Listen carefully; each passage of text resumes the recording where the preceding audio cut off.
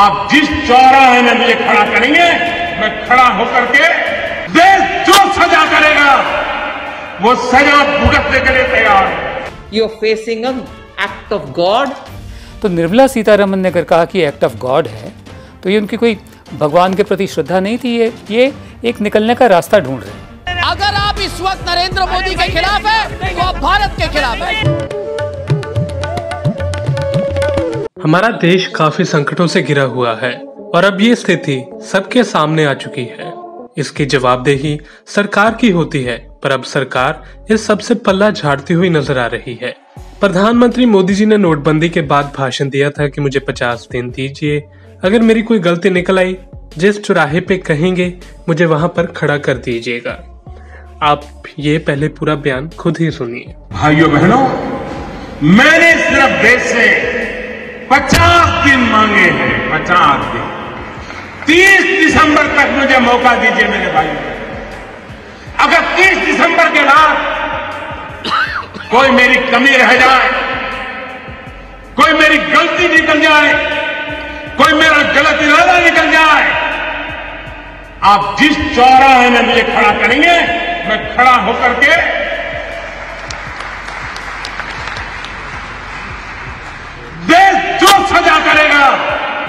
वो सजा भुगतने के लिए तैयार अब गलती तो साफ़ ही दिखनी शुरू हो गई है पर सरकार ने इन गलतियों को एक्ट ऑफ़ गॉड ही बता दिया है।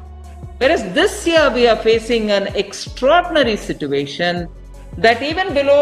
percent approximate estimation you facing act of God which might even result in a contraction of the economy. क्या सच में निर्मला सीतारमन के मन में भगवान के प्रति इतनी श्रद्धा उत्पन्न हुई? इसके बारे में वरिष्ठ पत्रकार विनोद दुआ ने निर्मला सीतारमन के एक एक्ट ऑफ़ गॉड वाले बयान पर कुछ अहम जानकारी दी है। तो उन्होंने कहा कि ये जो कोरोना हुआ है और जो अर्थव्यवस्था की बुरी हालत है कोरोना की वजह से हुई है। और ये एक्ट ऑफ़ गॉड है। बहुत ही धार्मिक प्रवृत्ति के लोग हैं इसे धर्म से जुड़ा हुआ मान लें। ये कानूनी पॉइंट है। लॉ ऑफ़ टॉट उसमें ये आता है। इसे अंग्रेज़ी में कहते हैं फोर्स मज्योर कोई ऐसे हालात बन गए कि जो दोनों पार्टियाँ हैं, जिनमें ये करार हुआ है कॉन्ट्रैक्ट हुआ है, वो पूरा नहीं कर पा रही है एक पार्टी, अपनी तरफ़ का जो है करार। क्यों? क्योंकि ये सब बातें हो गई हैं तो ये एक्ट ऑफ़ गॉड गिना जाता है फोर्स मेजोर गिना जाता है। पीवीआर सिनेमा ने ये फोर्स मेजोर इसको इन्वोक कर दिया है, ताकि उनको ये जो लॉकडाउन पीरियड का जो किराया है वो ना देना पड़े जहाँ जहाँ उनके सिनेमा हॉल है। ताकि इनकी जो लीगल लाइबिलिटी है कानूनी ज़िम्मेदारी है चाहे वो किराए देने की हो या पेनल्टीज देने की हो उससे बच जाए।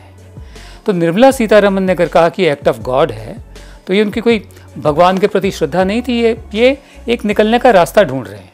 पिछले कुछ समय से सरकार से सवाल करना मानो राष्ट्र विरोधी होना हो गया है। इन्होंने आज कह दिया है कि ये आज ये प्रधानमंत्री के खिलाफ है। इन्होंने आज ये पप्पू जी ने ऐलान कर दिया है कि मैं प्रधानमंत्री नरेंद्र मोदी के खिलाफ हूँ। तो मैं कह दूँ आपको अगर आप नरेंद्र मोदी के खिलाफ है तो आप भारत के खिलाफ अगर आप इस वक्त नरेंद्र मोदी के खिलाफ है तो आप भारत के खिलाफ है। आप भारत के खिलाफ प्रधानमंत्री मोदी एक बार भी प्रेस कॉन्फ्रेंस करने नहीं आए। एक बार चुनाव के समय आए थे पर प्रेस के एक भी सवाल का उन्होंने जवाब नहीं दिया था। अब तो पार्लियामेंट में भी सरकार से कोई सवाल नहीं कर सकेगा। कोरोना संकट का हवाला देते हुए सरकार ने प्रश्नकाल को रद्द कर दिया है। 14 सितंबर से शुरू होने वाले मानसून सत्र बिना कोई अवकाश 1 अक्टूबर तक चलेगा। सरकार की ओर से जारी किए गए शेड्यूल के मुताबिक पर प्रश्नकाल को रद्द कर दिया गया है। इसको लेकर विपक्ष हमलावर है। टीएमसी सांसद डेरेक ओब्रायन ने कहा कि सांसदों को 15 दिन पहले ही प्रश्नकाल के लिए अपने प्रश्न सबमिट करना आवश्यक है। सत्र की शुरुआत 14 सितंबर से हो रही है तो क्या प्रश्नकाल कैंसिल हो गया है? 1950 से पहली बार विपक्ष के सांसद क्या सरकार से सवाल पूछने का अधिकार खो बैठे। जब संसद के समग्र कामकाजी घंटे समान हैं तो फिर प्रश्नकाल को क्यों रद्द किया गया? लोकतंत्र की हत्या के लिए महामारी का बहाना बनाया जा रहा है। हाल ही में मोदी जी ने मन की बात की। देश के मन में कुछ और ही चल रहा था। स्टूडेंट्स को उम्मीद थी कि जेईई और नीट की परीक्षा को लेकर मोदी जी कुछ बोलेंगे।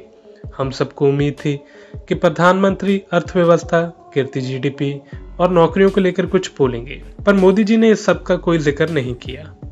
पर लोगों का गुस्सा ज़रूर देखने को मिला। मोदी जी के मन की बात वीडियो को यूट्यूब पर अब तक 10 लाख से ज़्यादा डिसलाइक मिल चुके हैं। स्टूडेंट्स भी अपने ट्विटर के ज़रिए अपनी आवाज़ बुलंद कर रहे हैं। स्टूडेंट्स द्वारा चलाए जा रहे हैशटैग ट्रेंड हो रही हैं। लोगों का गुस्सा सरकार के प्रति देखने को मिल रहा है। कोई नौकरियों की मांग कर रहा है तो कोई एसएससी के रिज़ल्ट की। इसकी अधिक जानकारी एनडीटीवी के वरिष्ठ पत्रकार रवीश कुमार ने अपने शो में दी। Speak up for SSC railway exam. Trend दो दिनों से चल रहा है। इस ट्रेंड का एक नतीजा यह निकला है कि स्टाफ सिलेक्शन कमीशन ने अपनी वेबसाइट पर जानकारी दी है कि एसएससी सीजीएल 18 और जूनियर इंजीनियर के रिज़ल्ट और एमटीएस 19 की परीक्षा का रिज़ल्ट कब कब निकलेगा।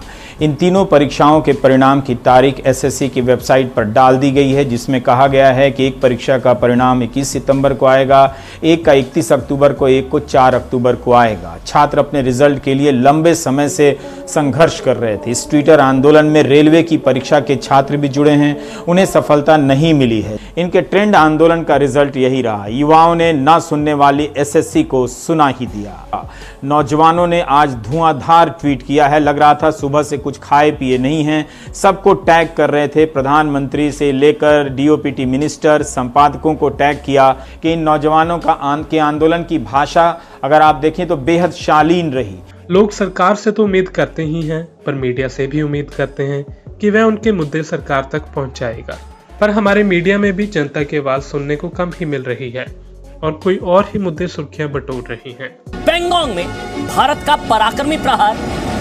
चीन का इंकार पिटा चीन रोया पाकिस्तान गुरु चेला दोनों परेशान लेकिन ब्लैक टॉप पर भारत का कब्जा हो गया है। डर समझ रहे हैं आप घबराहट समझ रहे हैं आप। जिनपिंग का गुरूर।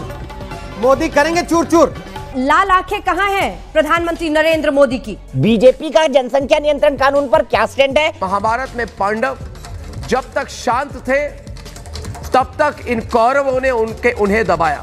मेरे रिपोर्टर और सबूत लेकर आ रहे हैं सच्चाई की तरफ़ हम बढ़ रहे हैं। आपको प्रॉब्लम है। सुशांत सिंह राजपूत की मौत पर कितनी फेक न्यूज़ फैक्ट्री हम वो स्वार्थ वो हम वो वो, वो हम सारथी है दोस्तों। खुद को बेनुगा बेगुनाह कर कह रहे हैं। जब यूपीए सरकार सत्ता में थी तो मोदी जी ने महँगाई के मुद्दे पर मनमोहन सरकार की काफ़ी आलोचना की थी। आप अगर चाहें तो इसे आज के समय से जोड़कर भी देख सकते हैं। इन्हीं के कालखंड में महँगाई कहाँ से कहाँ पहुँची? जीडीपी का गिरना, दूसरी तरफ़ इन्फ्लेशन का बढ़ना। महँगाई बढ़े, और वो भी इस हालात से बढ़े, और उसमें भी दिल्ली की सरकार हर बार नई तारीख देती रहे।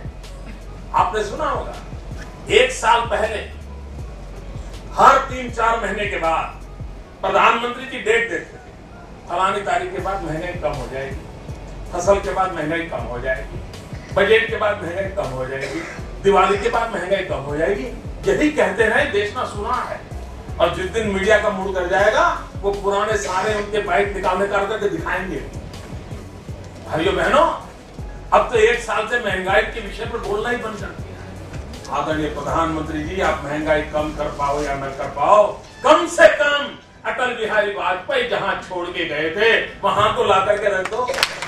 हम उम्मीद करेंगे कि सरकार जो हुआ उसकी ज़िम्मेदारी लेगी और देश की जनता का विश्वास दोबारा से जीतने की कोशिश करेगी और देश की हालात में सुधार करने के लिए कई कदम उठाएगी bureau report Punjab today TV If you like our channel, please subscribe and to get notifications about news, please click the bell icon.